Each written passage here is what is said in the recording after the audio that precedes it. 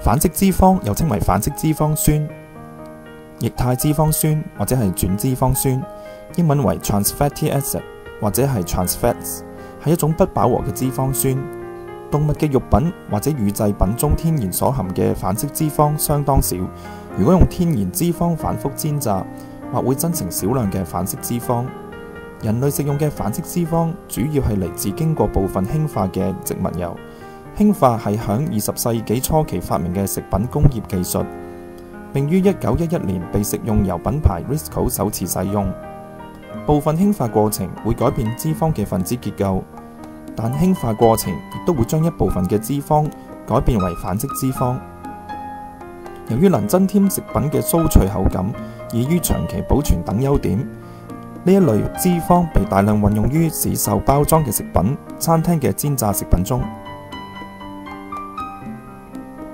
同其他可以喺飲食中攝取嘅脂肪唔同，反式脂肪對健康並無益處。佢唔係人體所需要嘅營養素。食用反式脂肪將會提高罹患冠狀動脈心臟病嘅機率，因為佢可以令到壞嘅低密度脂蛋白膽固醇上升，並使到好嘅高密度脂蛋白膽固醇下降。世界各地嘅健康管理機構建議將反式脂肪嘅攝取量降至最低。一般認為，經過部分氫化嘅植物油同埋純天然嘅植物油相比，前者對於健康造成嘅風險較大。世界衛生組織不斷喺報告中重申要逐步消除轉脂肪酸。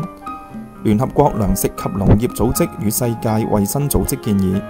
飲食中僅應包含極少量嘅反式脂肪，低於每日攝取量嘅百分之一。以一個每日消耗二千卡嘅成人嚟講，呢個量相當於每日攝取唔超過兩克。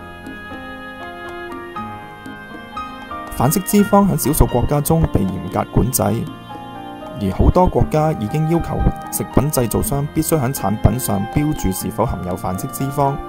而亦都有好多因為反式脂肪而引起嘅法律訴訟正在進行。好多食品公司已經主動咁停止喺食品中使用反式脂肪，或者增加不含反式脂肪嘅產品線。